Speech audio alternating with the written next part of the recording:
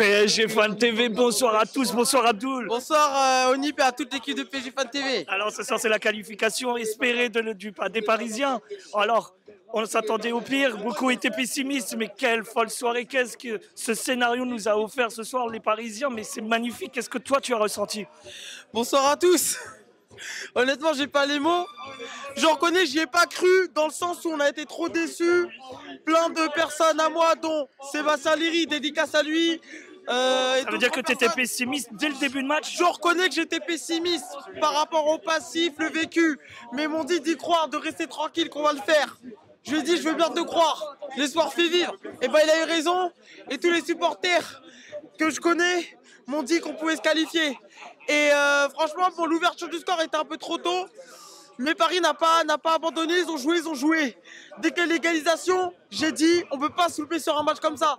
Mbappé qui s'est raté sur son match aller, ne pouvait pas se rater comme ça. Surtout avant de partir au Real Madrid. Tu ne pouvais pas nous laisser, laisser son image à Paris comme ça et nous laisser comme ça. Et on l'a fait ce soir. Est-ce que, tu trouves, tout le monde. est-ce que tu trouves que Mbappé a pris ses responsabilités et a porté à bras de corps cette équipe? Bien sûr qu'il a pris ses responsabilités. Il marque un doublé, il met un penalty et il met son doublé pour le, le but du chaos.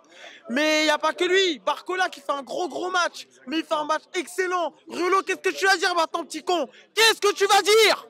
Qu'est-ce que tu vas dire? Alors, un dernier mot pour le capitaine, le capitaine qui a été présent, qui a sauvé à plusieurs reprises cette équipe, où on a, ça aurait pu tourner au drame. Marquinhos, pour toi, est-il redevenu capitaine? Oui, Marquinhos est redevenu capitaine. Je suis pas dans la culture de l'instant, mais c'est vrai qu'il a été très performant ce soir. Il a été un leader, il a été un vrai meneur. Dans sa tête, il s'est dit, ça se passera pas comme ça. Il a été déterminé, il a coupé les relations. Sa charnière avec Hernandez, malgré que Hernandez était un petit peu moins bien que d'habitude, a vraiment été bon. Mais il y a un joueur dont il faut féliciter avant, Vitinha. Vitinha qui a franchi un palier depuis les départs de Messi, Neymar, Verratti. On avait dit quoi?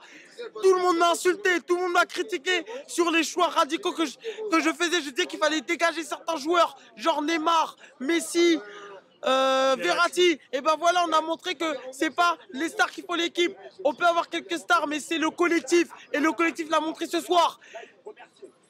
Je te remercie. Attendez.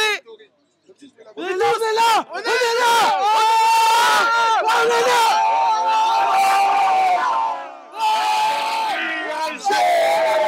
Tous ensemble nous chanterons Cet amour qu'on a pour toi. Tu ne cesseras jamais d'années de galères et de combats, autour de Paris et